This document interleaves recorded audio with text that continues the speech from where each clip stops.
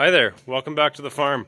So in the last video, I was, uh, what were we doing? I think the last one we were picking potatoes, but the last video of the shop, I was actually working up on the roof, getting that completed.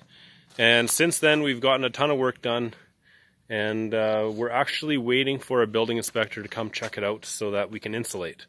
So um, we have, we framed up, if you can see back there, we framed up a couple walls and built a set of stairs up to the top floor. And then around this side, we built a little deck off the back side of the second floor. And um, so we got those two major things complete. The other thing I had to finish up was I had to finish all of this house wrap all the way around the building. I had to install a whole bunch of hurricane ties for every single joist or every single truss, I had to secure it to the frame of the building. So we got all that stuff done. And, um, and then I found out that the building had to be wired before the building inspector would give me the okay to insulate. So that kind of threw my, my plan was I was going to wire it over the winter. And um, that kind of threw a wrench in our plans. I ended up just calling an electrician. He came in here and in three days he had this entire shop wired he installed a whole bunch of LED shop lights in here so I can work at night and put plugs everywhere, wired in the garage door openers, and what else did he do? He put a welding plug in in the corner there. He put a 240 volt outlet under the stairs just for because we want to put a hot water tank in there. That'll heat the floor.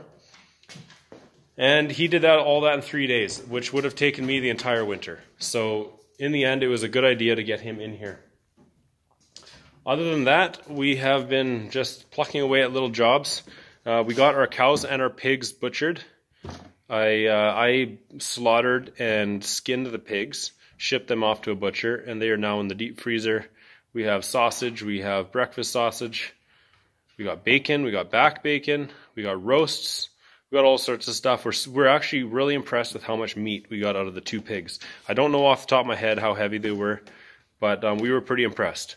Um, the cows, we hired a butcher. He came here and he slaughtered, skinned, and quartered them, and then he took them up to his uh, his cooler, and he's actually butchering them as we speak. So we're going to be going to pick those up soon. Uh, I don't know how much meat we got from those cows we will uh, probably do a video on how we did with the cows in the near future. We planted probably 200 heads of garlic or 200 cloves of garlic. So we got our garlic in for next year. That was kind of a team effort with the whole family. We went down there and uh, set up a garden bed, a garlic bed. Oh, we have a new project. A new project that we haven't, uh, we've been keeping under wraps just because we've been too busy to video. But we've got these two shipping containers set up and it's just, you know, great. These shipping containers are great storage for throwing, you know, valuables in. Stuff that you don't want in the shop. I keep all my fuel, all my chainsaws, just all the bulk stuff. You know, I've got piles of old fittings and electrical stuff and lumber, and I'm storing them in these two shipping containers. And then we ordered a set of trusses to span the top of the shipping containers, which I don't know when I'm going to do that, but it's on our to-do list. We're going to build, it's just going to be an extra space to park the tractor, to park the quads, to park the skidoo, and just all the outside stuff that we don't want clogging up the shop. Because it's, it's winter here for the next five months, we set up this 10 by 20 Shelter Logic greenhouse. And this is going to be our chickens kind of uh, solarium, you might call it. It just gives them somewhere where they can go and scratch away at stuff. They can um, they can kind of pretend that it's not wintertime. Just gives them somewhere where they can go and scratch away at some wood chips.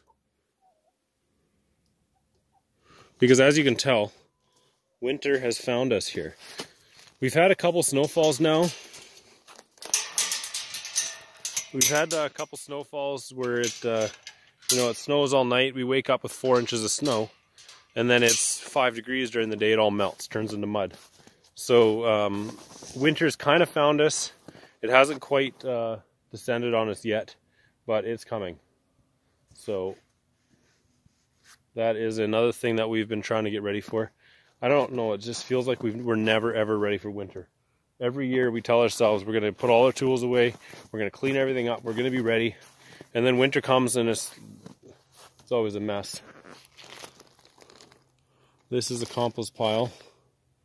It's sitting, uh, depending on where I stick the thermometer, it's it can be anywhere from 160 to, you know, 60 degrees. This entire pile is um, filled with wood chips and dead animals. So we uh, we had to get rid of a whole batch of laying chickens just because they were getting too old. And so the bottom, like three feet, is 50 laying hens and wood chips. And then we have all the excess, the offal from the pigs and the guts and the heads and the feet. Everything from the pigs is in there. And then on the top, we got all the stuff from the cows. So we got the intestines, the stomach, the heads, the everything is in that pile. So we have two cows, two pigs, and 50 chickens, and a bunch of wood chips cooking away in there. And I probably won't use it in our garden next year, but I'll let that sit there for two years, and it will uh, it will turn into compost. So that's about it for the farm right now. We are uh, we're just cleaning up the last of our little tasks and getting ready for winter. So we will be putting out some more videos in the near future.